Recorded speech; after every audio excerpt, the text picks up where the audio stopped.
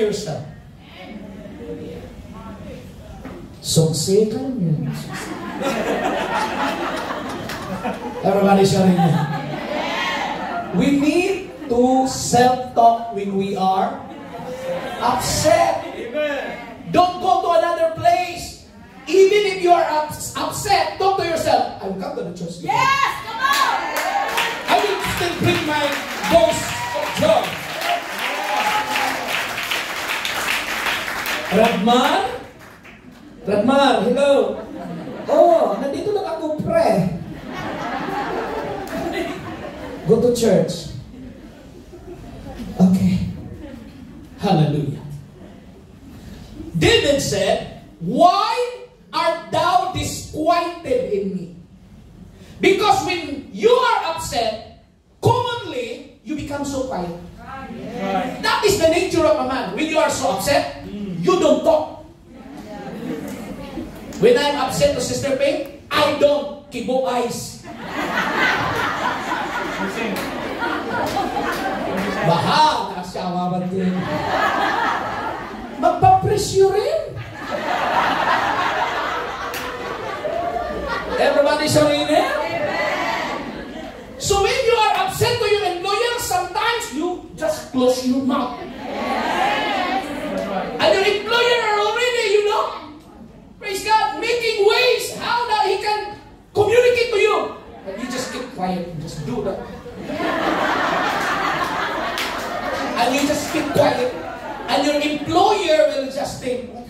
To my worker here? Why she's very quiet?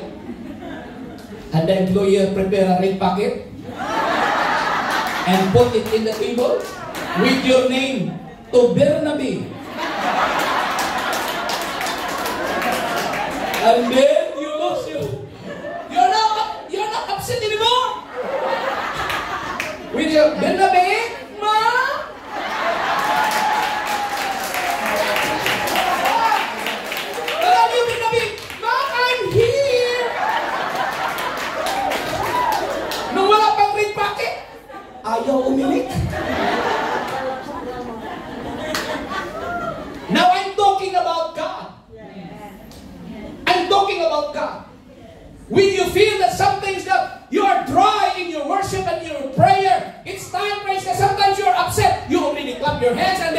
very dry. You cannot feel the presence of God. Talk to yourself. I will continue still to worship Him. I will continue to call upon Him. I will sing to my Lord. I have faith in Him. So when you are upset, sometimes you are quiet. So in the church, during worship and praise, if you are quiet, I know you're upset. Yeah. If you don't shout to the Lord, I know you're upset. It could be your neighbor, it could be the person in front of you, you're very upset. That's why you are quiet. But when we talk about God, hallelujah. When was the time you remember that God is not good? There is no reason that we should we are we should be like, Lord, I'm upset to you, Lord. No, we should not do that. Because He always, you know, supply our needs. He's so good to us.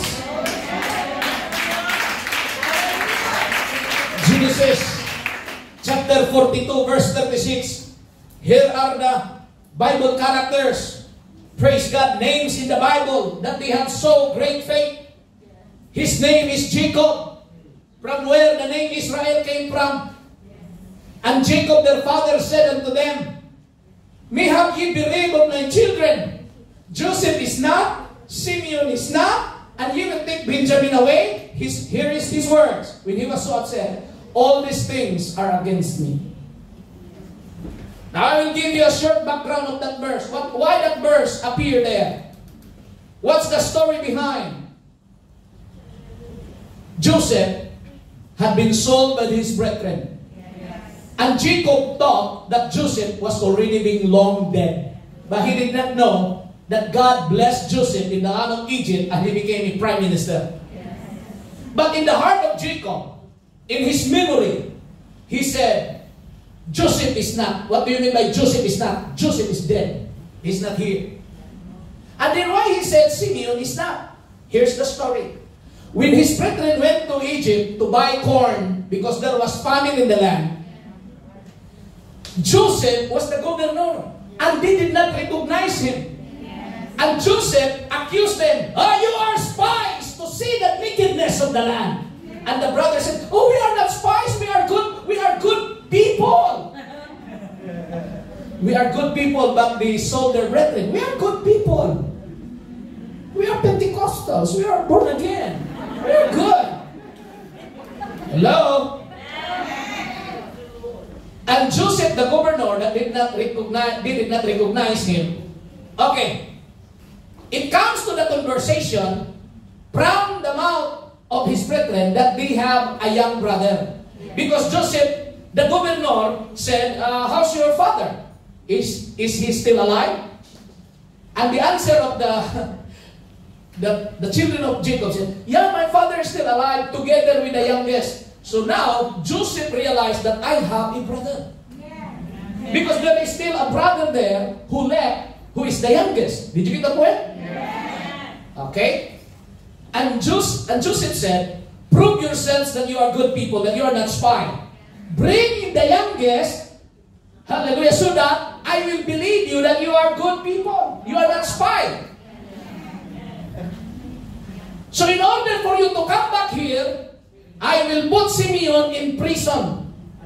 That's the reason why Jacob said Simeon is not, because he believed Simeon is already dead.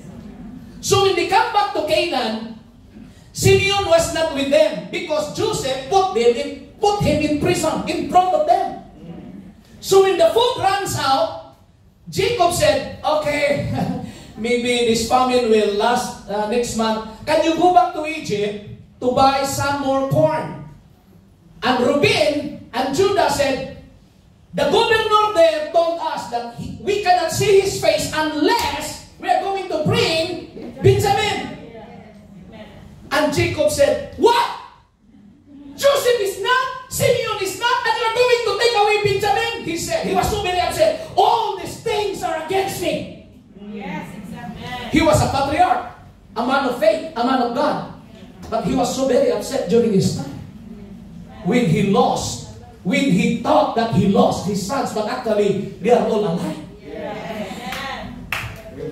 Everybody say amen. But what made Jacob, praise God, to realize, hallelujah, because he said, okay, you can bring Benjamin.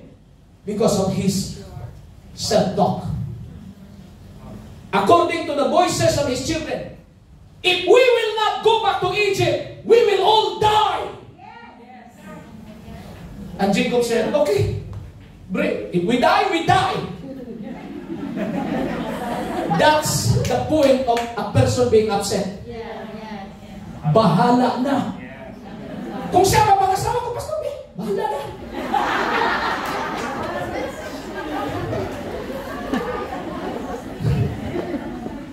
Women, be careful of your heart.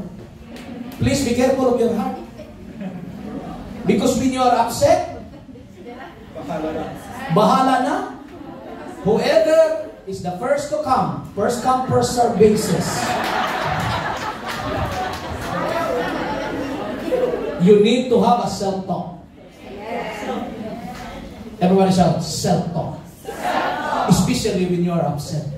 But we are talking about God. Pastor, Pastor, I'm so upset. I pray about this. I pray, I fasted, but why it did not come? You need to have a self-talk when you are upset. Bernabe? Yes, no, and wait. Ang sagot ni Lord Bernabe. Talk to yourself. Everybody shout amen. There are so many actions, so many situations, Sister Daisy, that you say, I am against this. But at the end of the day, He is the one, hallelujah, who performed. He is the one, hallelujah, who gave you a blueprint. Pastor Plaza, actually, I don't want Hong Kong. I should be in the Middle East. But I'm so very upset why I arrived here in Hong Kong. But now, I just realized the Lord calls me. I landed here in the church. Who, who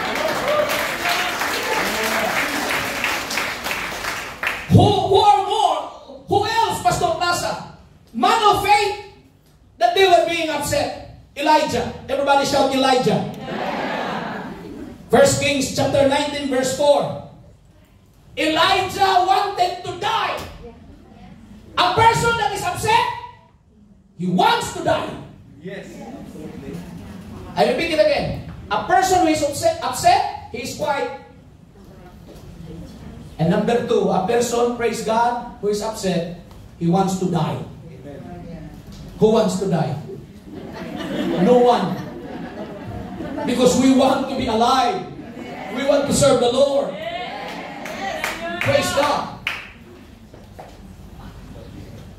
Uh, I look at the men and I can see their faces. They don't want to die. they want to live. But have you experienced in your life, praise God, that the devil sometimes whispers you.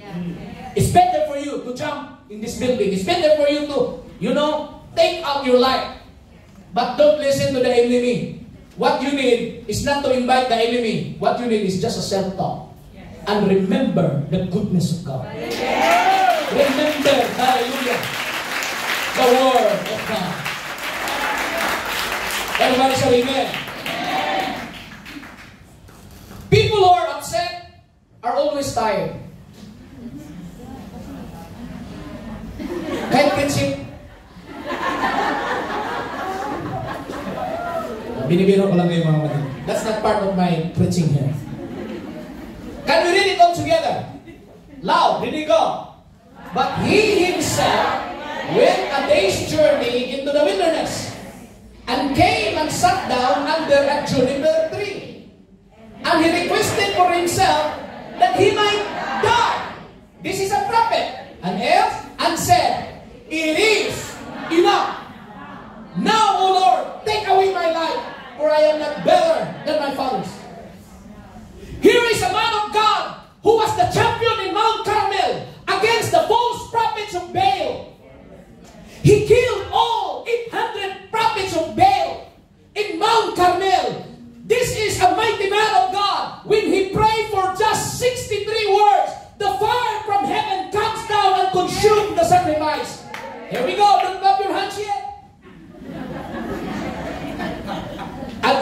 Jezebel heard that the prophets of Baal, Elijah killed it in Mount Carmel, Queen Jezebel said, Tomorrow, Elijah, what happened to the prophets of Baal, that will happen to you. I promise tomorrow. Who said? A woman, Queen Jezebel. So Elijah ran. He was so scared. He ran for his life. He did not run against 800. But the woman said, I will kill you tomorrow. Elijah ran. Men, be careful of the women. Yes, yes. Ratman! Uwi! Uwi, Ratman. Let's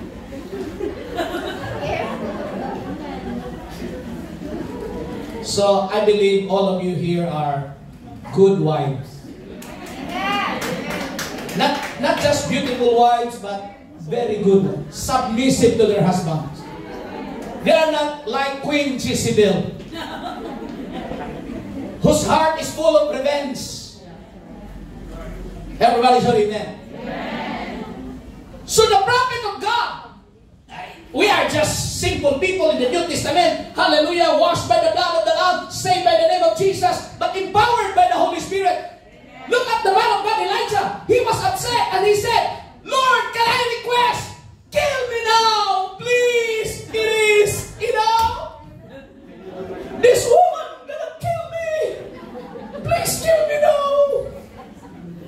He was upset. And God talked him, praise God, in a still small voice. and his faith was restored. All we need is to have a self-talk about God and remember the words of God, the still small voice of the Lord. Entertain the presence of the Lord in your life. Hallelujah. Do not be scared. Do not be afraid. Hallelujah. Of the spirit of Chisidel. Everybody shout, praise the Lord. Praise the Lord. Who else, Pastor Plaza? Are upset. Job, in Job chapter 3, Job wi- wish he had not been born. Here is a man, the Bible said, upright before God. Without any medical allergy, sister. a man who is supreme. A man whose health is perfect, was perfect. But the Lord allows Satan to tempt Job. And it happens, hallelujah, the cruelest things that happen in his life he never experienced. And these are the wordings of Job in his words in chapter 3, verse 1. After this, opened Job his mouth and cursed his day. He cursed her birthday. He cursed his day. Next verse is that reading the Bible said in verse 3. He said, Let the day perish wherein I was born. He was wishing, how I wish I was I died when my mother gave birth to me. And the night in which it was said, There is a man child conceived. Next verse, the Bible said, Hallelujah, in verse 11. He said, Why died I not from the womb? He was very upset of his situation. Ten children killed by Satan. Praise God. They died in the storm. All his wealth and properties were gone. His wife also, praise God, was not faithful to him during this trial of his life. And this is, and this was his wording. Why died I not from the womb? Why died I not from the womb? Sana ikumot na lang po ni Mama. I don't know how to say it in Tagalog.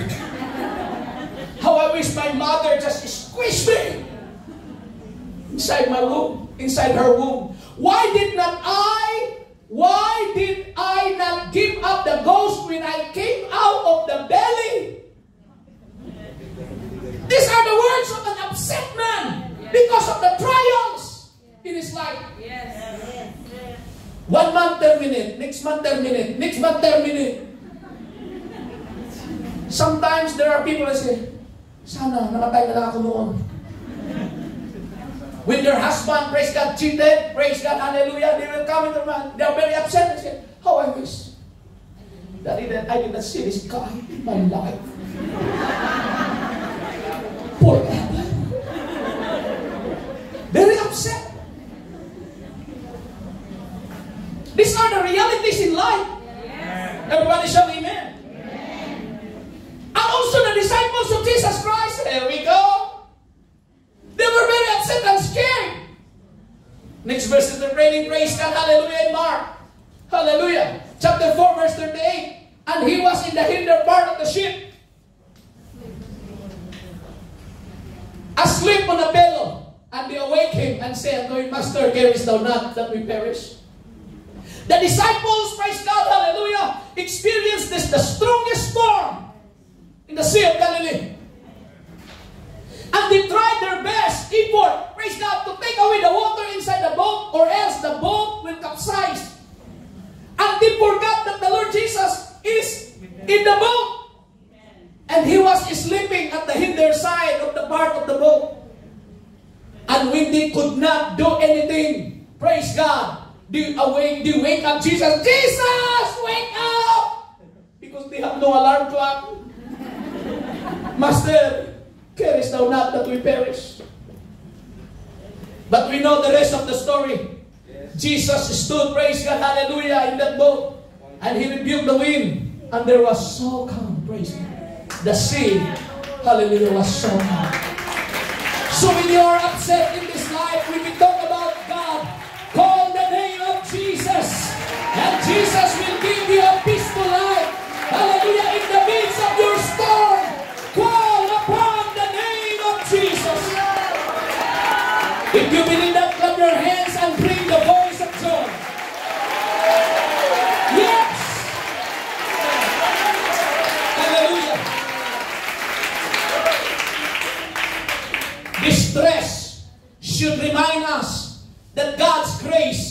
is sufficient. Can you read it with me? Distress should remind us that God's grace is sufficient. Maybe you are discouraged. Maybe you are upset of your situations being OFW. Praise God, send money from time to time. Praise God, hallelujah. And you're asking to yourself, and you're talking to yourself, when this Bernabe will stop. Bernabe, when you can go for good. And Bernabe answered, you have a grandchildren to go to college. Bernabe, tiis lang, Bernabe. Distress should remind us that God's grace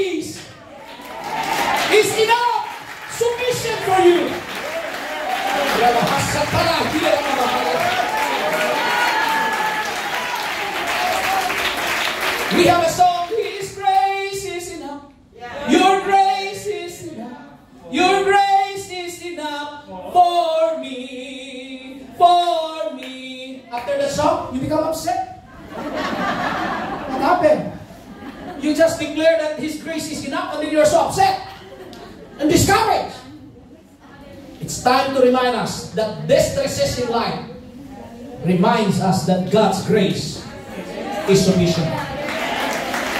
Paul found God's grace to be enough. 2 Corinthians 9, 12, 12, 9, the Bible said, And he said unto me, My grace is sufficient for thee, for my strength is made perfect in weakness. Most gladly, therefore, will I rather glory in my infirmities,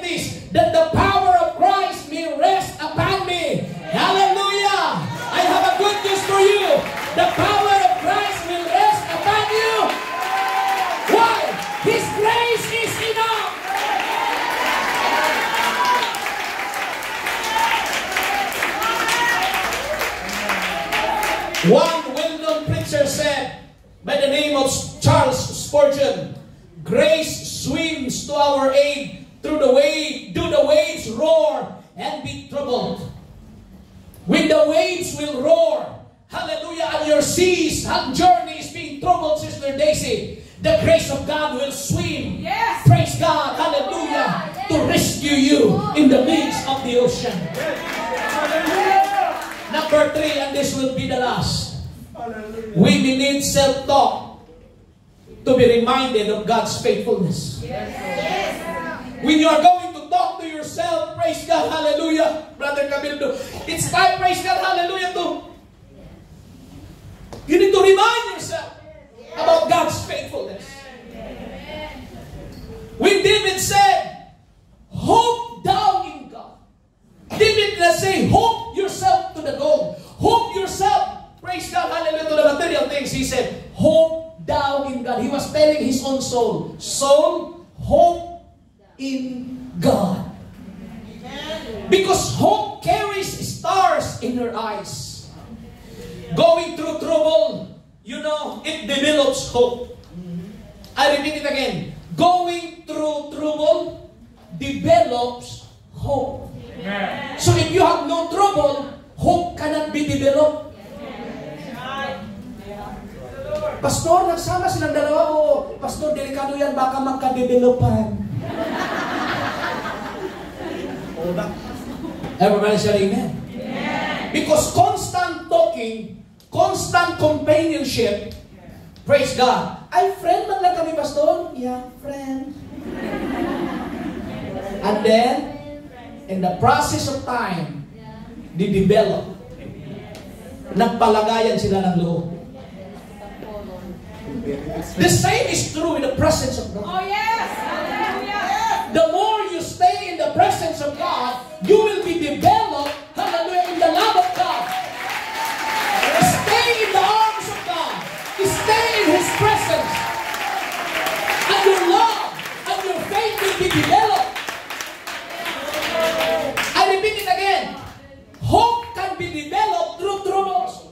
Because if there's no trouble, why should you hope?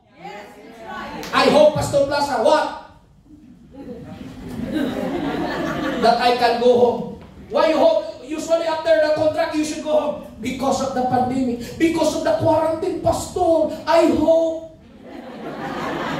that they will take it away. So the trouble of quarantine thing, you always develop hope. Amen. I hope, Pastor Plaza, when the trumpet will sound, I will meet Jesus. I hope. You hope? Good. You should go through troubles. Pastor Plaza, I don't want troubles. So how can you have hope? Can we hope, Pastor Plaza, without trouble? Let's read the Bible. If it is possible or not. Romans chapter 5, verse 1 to 5. Hallelujah. Here we go. This is the last verses. And I hope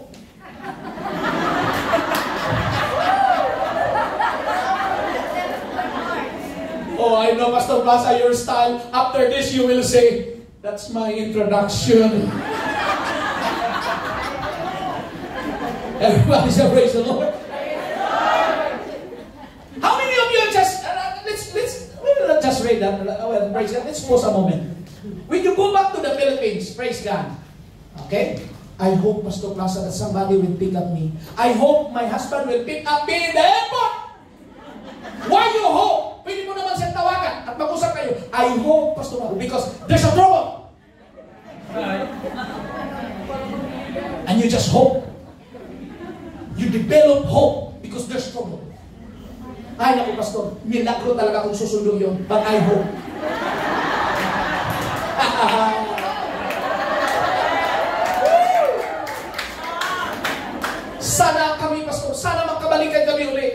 I hope.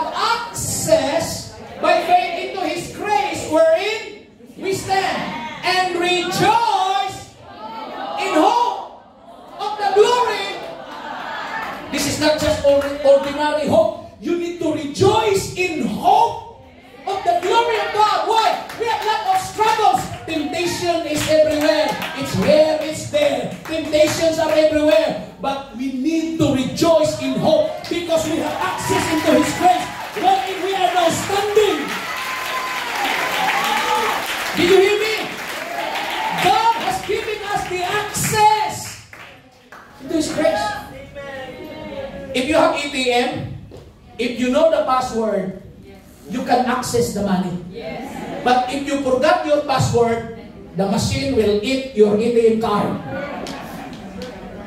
Unless you're going to cancel it as early as possible. But if you have the password, it means you have the access, you can get the money. Now, the Bible said, we have the access by faith into where? Into His account? Into His, into this grace wherein we are standing. And because you have the access, we must rejoice in the hope of the glory of God. Rejoice in the hope. So every time you come in the church, you are rejoicing. Whoa, I know I rejoice in the hope of the glory of God because what? I'm standing in the grace of God. I have the access. Hallelujah. Everybody say, praise the Lord. Verse 3. Are you ready? And not only so, but we glory in tribulations. What? Now this is the, I don't like that verse, Pastor Plaza. Why should I glory in tribulations? Because we have the access into this grace. That even you have trials and problems in life, things or situations that is out of your control, the Bible said not only that we should rejoice in the hope, but we must also glory in tribulations also. That's part of our calling. Pastor Plaza, my husband is really a tribulation. what?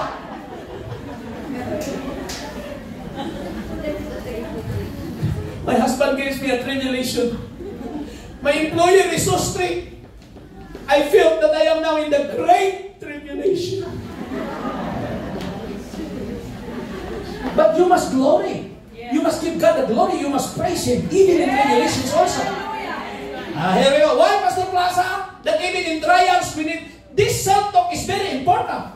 And we need to self-talk, to have a self-talk, to remind ourselves about the faithfulness of God. That when God will see you through in that kind of problems and trials, He will help you, He will rescue you, He will, He will bring you, praise God, to your success. So what tribulation can help? How can tribulation help? Here we go, read your screen. Knowing that tribulations work it. Pag may problema, magbiging pasensyado ka. If you will not experience tribulation, Sister Selby, you have no idea what patience is all about. Patience, my dear Watson.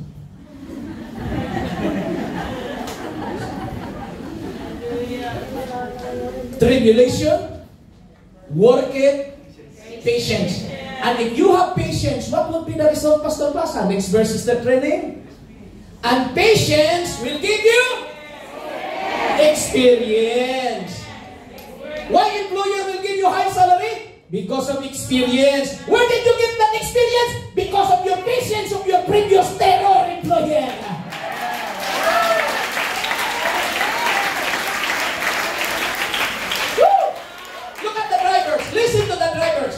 If they have lots of experience, they know already Hong Kong, they know Kowloon site, they can demand a good salary. Why? They have experience. Brother Johnny, lots of experience. Praise God. They have, our drivers here are, uh, brother, uh, praise God, our new, Ah. Brother Marvin, he has just uh, passed the driver's examination. Like, uh, like, yeah, he has a license now. But he has no experience. he has no experience. So, DH muna. He need to have patience. Patience in waiting, patience in studying, patience in learning. And now he got this. Woo! Thank you, Lord. So all of you here are good cook, good uh, nurse, uh, praise God. different, you know, skills and talents. Patience will result to experience. And if you have experience, what will happen? You have hope. Where did it all begin? Tribulation. Pastor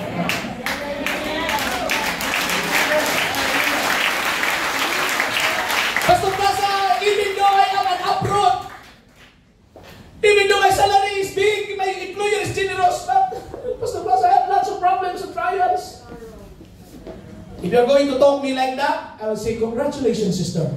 There's a big hope coming. Pastor Plaza, my husband is really a problem. My children is really a problem. There's a big hope coming.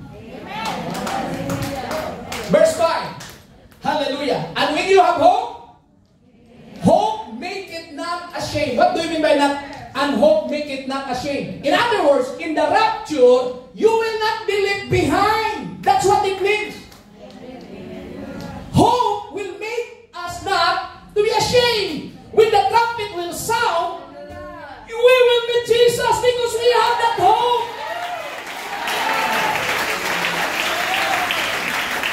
And the Bible said, because the love of God is shed abroad in our hearts by the Holy Ghost, which is given unto us. So without the Holy Ghost, Christian, the love of God cannot, in the, the love of God will not be shed abroad in your heart. People? You love that unlovable because of the Holy Ghost. Hallelujah. Clap your hands unto the Lord one more time. Our hope rests in the faithful one. Amen. This is a text, hallelujah, of hope in a time of tears. To all the people here that who cry day and night as if your tears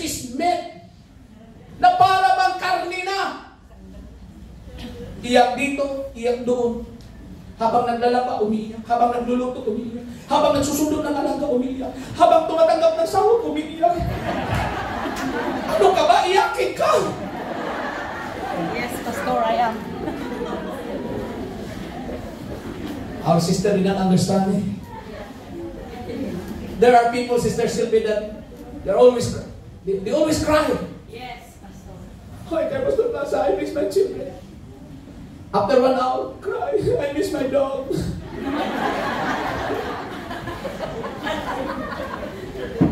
oh, I miss my husband, Pastor Plaza.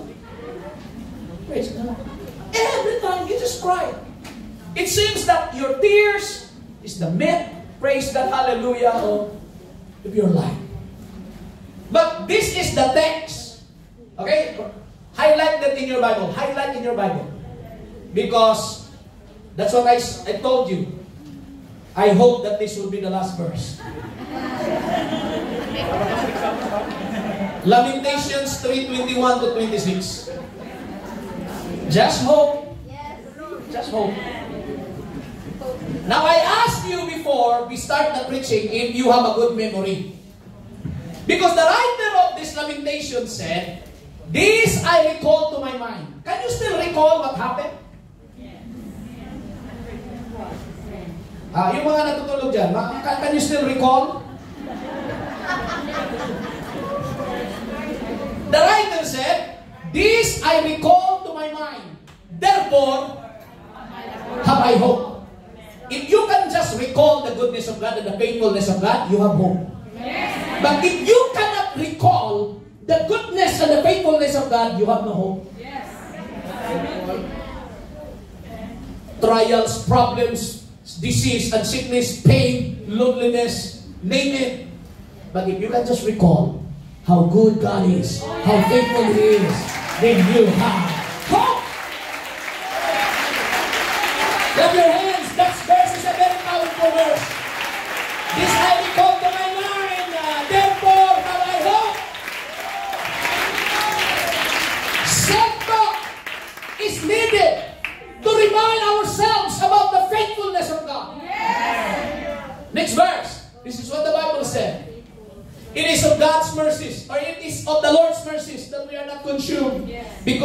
compassions fail not.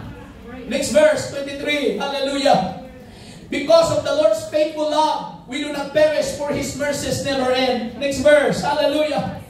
They are new every morning. Great is thy faithfulness. Can you recall every morning you wake up? Can you recall five years ago how good God into your life? How good He is? Can you still recall? Here we go. Let's sing on this. Can you still recall the day when, you were in training? Can you still recall in the day that you were in that agency applying for Hong Kong?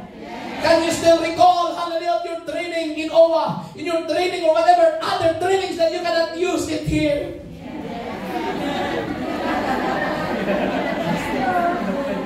Can you still recall how much money did you spend? But we are not talking about material things. We are not talking about love life. We are not talking about your job. But we're talking about God. Can you recall, hallelujah, in your life that you felt the presence of God for the first time? Can you recall the first day that you received the Holy Ghost? Can you recall, hallelujah, in your mind, hallelujah, that the Lord heals your disease? Can you recall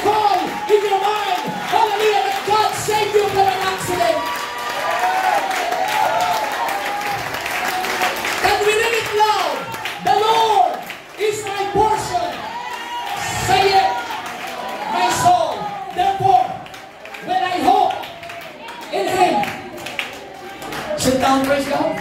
Can we read it one more time? The Lord is my portion. Say it. Your soul need to decide right now. Your soul need to speak right now to your own mind and your heart. Lord, you are my portion. I have no money, I have no property, but you are my portion. Hallelujah. You are the best of my life. You are the best of happening in my life. Hallelujah. Let my soul will say, Hallelujah, it is well.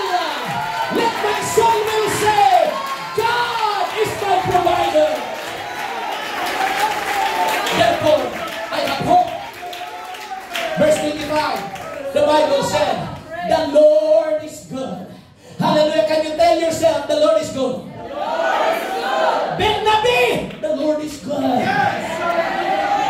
The Lord is good unto them that wait for Him, to the soul that seeketh Him. Last verse, hallelujah. It is good that a man should both hope. It is good that a man should both hope and quietly wait for the salvation of the Lord. Iwasan na natin yung dakdak ng dakdak. Iwasan na natin ang dakdak ng dakdak ng mga problema. I-post kung sino mga kapatid sa FB. Iwasan na natin yan. But the Bible said, it is good for a man should both hope and quietly. Tahimik lang na magantay sa kaligtasan sa milagro ng ating Panginoon. Shall we stand together? Hallelujah.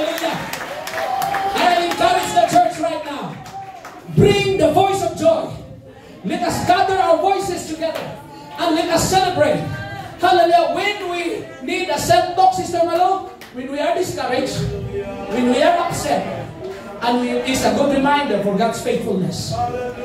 When you are discouraged in life, have a self-talk about God. When you are upset in your work, in your relationship, have a self-talk with God.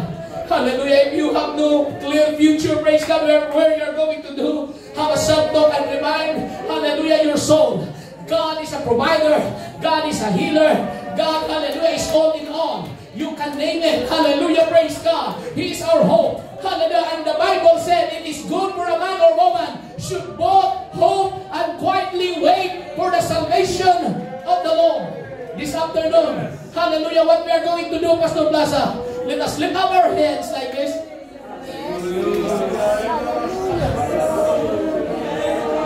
Hear me, please. Can you recall all the miracles of God that have done in your life?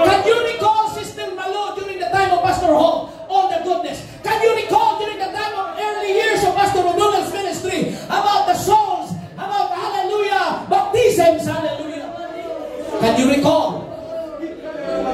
Can you recall how many students, hallelujah, of New Life have gone to other countries and they were useful? Can you recall, hallelujah, how God, how, how good is God to your children, to your family?